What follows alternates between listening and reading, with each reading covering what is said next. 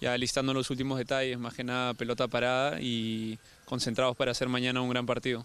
Están teniendo un gran año, en verdad, desde comienzo de año en el, el torneo de, verano lo demostraron y mantener ese nivel es algo muy meritorio de parte de ellos. ¿no? Creo que tienen un plantel que no debe ser el más, el grande de, del fútbol peruano, pero tienen mucha calidad en, en los jugadores que vienen eh, teniendo bastante ruedo ahí y un muy buen técnico también. ¿no?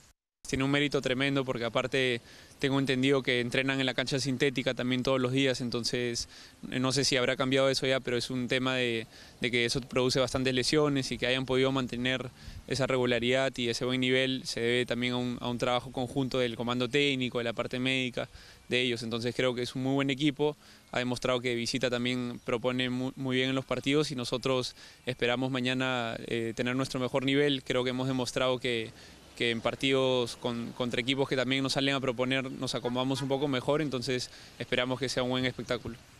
Parte de, del bote, de cómo bota la pelota y, y, los efectos que puede dar en la cancha sintética, creo que entrenar ahí todos los días este, tiene, tienes más riesgo de, de, tener alguna lesión, ¿no? porque es más duro, no, no es la misma amortiguación que un pasto natural, entonces creo que eso sería lo más complicado. ¿no?